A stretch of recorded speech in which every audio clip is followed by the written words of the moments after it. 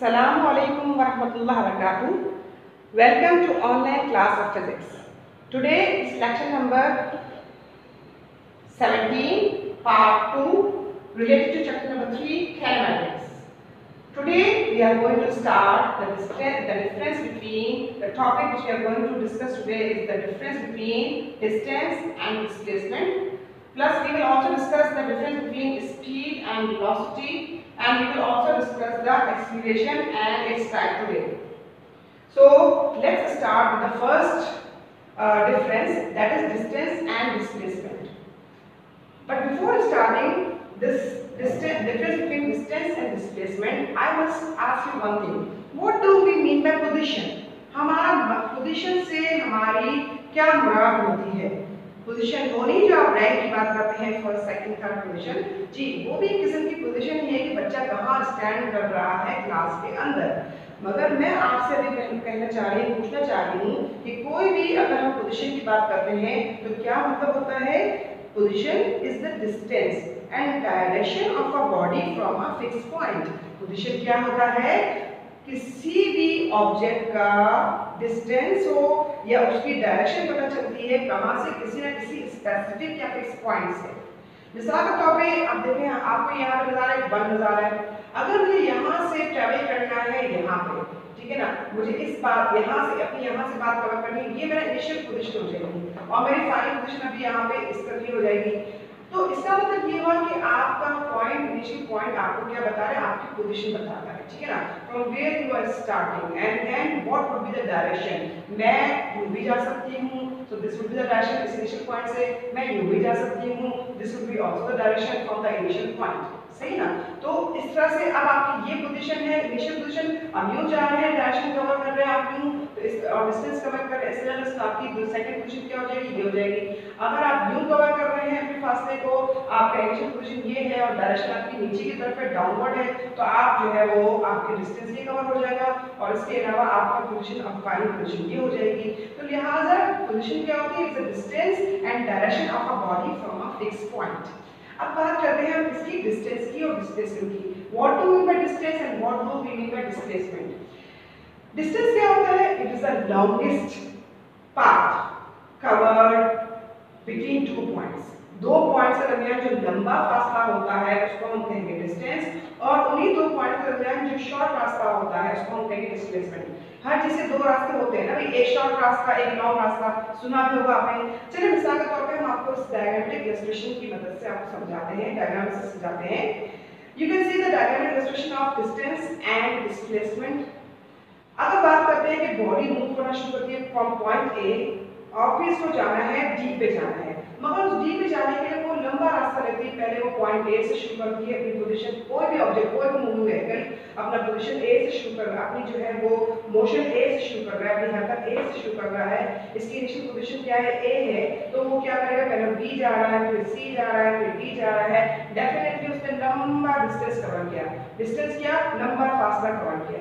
तो इसका मतलब है कि ऐसी, ऐसे ऐसे ऐसे पाथ ऐसे मामले में जबकि लॉन्ग पाथ कवर कर रहा है, कोई भी ऑब्जेक्ट या कोई भी moving vehicle between the two points तो उसको हम क्या कहेंगे? डिस्टेंस मगर यही बात हम कहते हैं, अगर कोई शॉर्ट रास्ता, अगर कोई बॉडी किया ए से डायरेक्ट चला गया डी पे और स्पेसिफिक डायरेक्शन में चला गया इसका मतलब क्या हो गया ये हो गया हमारा डिस्प्लेसमेंट जैसे कि मिसाल के तौर पर बात करते हैं ना, हमें अगर कहीं जाना है मिसाल के तौर पर गुलशन से हमें जाना है जाना है। तो आपके पास कई दो तीन रास्ते होते हैं। उन दो तीन रास्तों में से एक रास्ता जैसे विशाख में शुरू हुआ, आपका गुलशन से शुरू हुआ, फिर नीमा चौरंगी और फिर नीमा चौरंगी के बाद हसन स्क्वायर। तो फिर हसन स्क्वायर के बाद, फिर करीमाबाद फिर करीमाबाद के बाद जियाउद्दीन। तो ये आपके पास एक रास्ता है। दूसरा रास्ता आपके पास क्या है? ये रास्ते आप जानते हैं? जी, जाना तो होता होगा ना आपका अपने वालदे के साथ कहीं ना कहीं जाते आते होंगे तो। अच्छा दूसरा रास्ता ये हो गया कि हम नीपा गुलशन चौरंगी से स्टार्ट हुए और नीपा चौरंगी फिर गुलशन चौरंगी फिर हम जो है वो हमारा रूट चेंज हो गया, हम बजाय हसन स्क्वायर के, जो कि लंबा रास्ता था। हम चले गए नीपा चौरंगी से गुलशन चौरंगी ये रास्ते देखे ना आपने चले अगर नहीं देखे तो कोई बात नहीं, हमने आपको पॉइंट्स की मदद से समझा दिया। अब बात करते हैं हम इसकी स्पीड और वेलोसिटी आप देख रहे हैं स्पीड और वेलोसिटी यहाँ पे आपको दोनों नज़र आ रहे हैं, बोर्ड पे। स्पीड क्या होता है? Speed is the distance per unit time आप ज़िक्र करते रहते ना, जैसे फला गाड़ी कितनी स्पीड थी, फला व्हीकल कितनी स्पीड थी, फला ट्रक कितनी स्पीड थी तो ये हादसा हो गया। सुनते हैं ना तो फिजिक्स के टर्म में हम स्पीड को कैसे बयान करते हैं? फिजिक्स के टर्म में बयान करते हैं इस तरीके से कि जितना रास्ता बॉडी ने कवर किया मूविंग व्हीकल ने, किसी भी स्पेसिफिक टाइम में तो उसको हम क्या कहेंगे? स्पीड कहेंगे। क्या कहेंगे? स्पीड कहेंगे।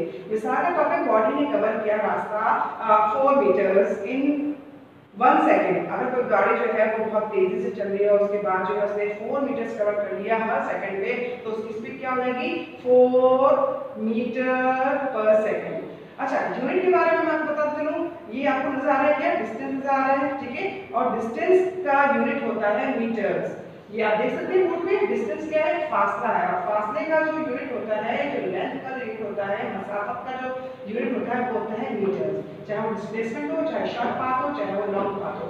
और आपको ये भी पता है कि टाइम का यूनिट होता है सेकंड्स लिहाजा स्पीड का यूनिट क्या हो गया? मीटर पर सेकंड अब बात करते हैं हम इसकी वेलोसिटी की। वेलोसिटी क्या है? माइन्यूट सा डिफरेंस है, दोनों के दरमियान। स्पीड होता है distance per unit time velocity होता है डिस्प्लेसमेंट पर यूनिट टाइम ठीक है ना? डिस्प्लेसमेंट की स्पेसिफिक डायरेक्शन होती है। लिहाजा आप देख सकते हैं वेलोसिटी और डिस्प्लेसमेंट दोनों के ऊपर हमने डायरेक्शनल एरो हैंड लगाए हैं। It means that velocity is the vector quantity, whereas speed is the scalar quantity. अब बात करते हैं हम किसकी? अब बात करते हैं हम एक्सीलरेशन की। चलिए, आपको जब भी आपकी गाड़ी वगैरह आप जब जिस व्हीकल को आप यूज़ करते हैं, जिस कन्वेंस को आप यूज़ करते हैं तो सबसे पहले वो अगर गैरेज में खड़ी की है तो उसकी स्पीड क्या है वो जब गाड़ी खड़ी हुई है तो क्या वो रास्ता कवर कर रही है? जी नहीं, वो रास्ता तो कवर नहीं कर रही वो तो बिल्कुल खड़ी हुई है। और कोई टाइम का ज़िक्र ही नहीं हो रहा कि कुछ किसी टाइम में उसने रास्ता कवर किया। मगर यही गाड़ी शुरू में तो गैरेज के अंदर ज़ीरो स्पीड के साथ ज़ीरो वेलोसिटी के साथ खड़ी है। कोई कोई स्पीड नहीं है, कोई वेलोसिटी नहीं है, क्योंकि वो कोई रास्ता कवर नहीं कर रही है। किसी रिस्पेक्टिव टाइम में, लिहाजा उसकी वेलोसिटी ज़ीरो हो गई। अब चलते हैं गाड़ी निकली गैरेज से और आई स्ट्रीट पे, गली में आई तो गली में क्या आपको पता है कि गली में जो है, गलियों में जो है गाड़ियों को, इस गाड़ियों की स्पीड को कंट्रोल किया जाता होता है तेज नहीं चलाया जाता होता है। ये तो आपको पता ही है ना? तो लिहाजा जब गाड़ी मूव करके गैरेज से बाहर आई और जब गैरेज से बाहर आने के बाद उसने जो है वो इतना कुछ रास्ता कवर किया गैरेज से लेके गली तक तो उसने मिसाल के तौर पर कोई भी रास्ता कवर किया टेन मीटर कवर किया, उसने पर सेकंड के अंदर। तो स्पीड क्या रही इसकी? टेन मीटर पर सेकंड ठीक है ना?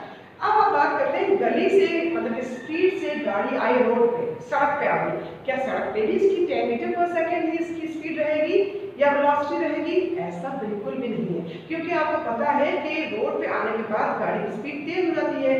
रोड पे वो स्पीड से तो नहीं चलाया जाता होता। गली की स्पीड से तो नहीं चलाया जाता होता। जिस स्पीड से गली में चलाते हैं, वैसी स्पीड से तो नहीं चलाया जाता होता है। लिहाजा, अब अगर गाड़ी मूव करके, रोड पे आई है तो मिसाल के तौर पर उसकी स्पीड क्या हो गई है? अब वो 40 मीटर कवर कर रही है हर सेकंड पे तो उसकी वेलोसिटी क्या हो गई है? अब 40 मीटर पर सेकंड हो गई है। तो हम बात करते हैं, हमारी इनिशियल वेलोसिटी क्या थी? जबकि वो गाड़ी गैरेज में खड़ी थी तो तब तो ज़ीरो मीटर पर सेकंड थी। फिर होते होते उसकी रोड पे आके उसकी वेलोसिटी जो कि फाइनल वेलोसिटी थी, वो क्या हो गई? 40 मीटर पर सेकंड लिहाजा, अब इसका मतलब ये हुआ कि वेलोसिटी तो बॉडी की चेंज हुई शुरू में ज़ीरो थी, फिर 10 हुई, फिर 40 हो गई तो ज़ीरो फिर 10 मीटर पर सेकंड फिर 40 मीटर पर सेकंड तो ये क्या हो रहा है? चेंज वेलोसिटी हो रहा है और विद रिस्पेक्ट टू टाइम हो रहा है। किसी ना किसी टाइम के चेंज होने के बाद टाइम फ्रेम के चेंज होने के साथ साथ वेलोसिटी भी चेंज हो रही है। इसको हम क्या कहेंगे? इसको हम कहेंगे एक्सेलरेशन बात समझ आई। आपकी तो acceleration is the change in velocity per unit time अगर हम बात कर रहे हैं चेंज इन वेलोसिटी की तो चेंज को हमेशा डेल्टा से शो करते हैं। अब मिसाल के तौर पे मैं यहाँ पे दी, मैंने आपको मिसाल दी। मैंने कहा आपसे 40 जो है उसकी फाइनल वेलोसिटी हो गई और इनिशियल वेलोसिटी इसकी 10 है। तो 40 माइनस 10 डिवाइड बाय 1 कितना आ जाएगा? एक्सप्रेशन कितना आ जाएगा? 40 मीटर पर सेकंड स्क्वायर जो उसकी यूनिट है, आपका एक्सप्रेशन का हो गया है मीटर पर सेकंड स्क्वायर क्यों यहाँ पे मीटर पर सेकंड स्क्वायर है? इसकी एक वजह है, वजह ये है। वजह सिंपल है। वजह सिंपल वो ये है कि आपके पास यहाँ मीटर पर सेकंड इसका भी यूनिट होता है, इसका भी मीटर पर सेकंड होता है। और इसके बाद अपॉन पे भी क्या आ रहा है इसका? टाइम आ रहा है। क्या आ रहा है? टाइम आ रहा है। टाइम का अपना यूनिट क्या होता है? सेकंड होता है। ये तो आप जानते हैं ना? तो लिहाजा इसका मतलब ये हुआ कि वेलोसिटी का एक्सप्रेशन का यूनिट क्या हो गया? मीटर पर सेकंड स्क्वायर ठीक है? इसकी गिवन के बारे में और इसके अलावा न्यूमेरिकल जो हम करवाएँगे, आपको एक्सलेशन से मुतालिक वेलोसिटी से मुतालिक एसपी से मुतालिक, तब हम आपको मजीद वाजे करेंगे कि किस तरीके से गिवन को हम मैनिपुलेट करते हैं। चले, अब बात करते हैं एक्सलेशन की दो मजीद टाइप्स होती हैं। अगर गाड़ी मिसाल के तौर पे गैरेज से बाहर निकल के रोड पे गई है तो उसका तो एक्सलेशन मुस्तकिल बढ़ रहा था। वेलोसिटी मुस्तकिल इसका बढ़ रहा था पहले ज़ीरो था, फिर टेन हुआ, फिर फोर्टी हुआ मगर क्या गाड़ी कभी घर पे भी आएगी या नहीं आएगी? या कोई भी व्हीकल मूविंग व्हीकल है, कभी वो रुकता भी है कि रुकता है, चलता ही, रहता है व्हीकल किसी भी कोई भी कोई भी कन्वेंस होती है, वो चल, वो अगर मूव करना शुरू हुई है तो वो स्टॉप भी तो होती है ना? तो जब वो स्टॉप होगी तो तब क्या होगा? उसकी वेलोसिटी बढ़ रही होगी या कम हो रही होगी?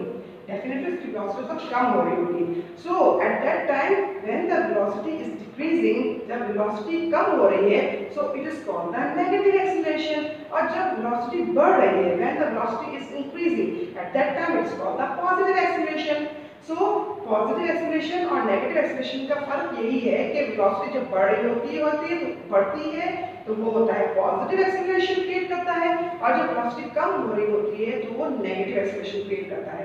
और नेगेटिव एक्सीलरेशन का दूसरा नाम है डिसलेरेशन या रिटार्डेशन ओके नेगेटिव एक्सीलरेशन का दूसरा नाम है डिसलेरेशन या रिटार्डेशन अब चलते हैं डायरेक्शन की तरफ़। एक्सीलरेशन की अपनी डायरेक्शन होती है, क्योंकि acceleration is the vector quantity इस तरह से वेक्टर क्वांटिटी है, क्योंकि ये चेंज इन वेलोसिटी के फॉर्मूले चेंज इन वेलोसिटी से जो है एक्सीलरेशन आपका एक्सीलरेशन का फॉर्मूला ड्राइव हो रहा होता है।